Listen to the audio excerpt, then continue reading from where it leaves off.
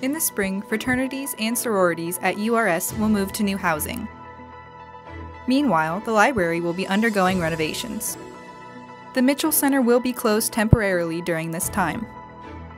Rather than leaving URS vacant or demolishing it, URS will house communication classes and the student newspaper, like this room, the future Antelope Newsroom, or the future lecture hall. Dorms like this one will be used for faculty offices. Students with communication classes should expect their classes to move from the library to the URS in the spring.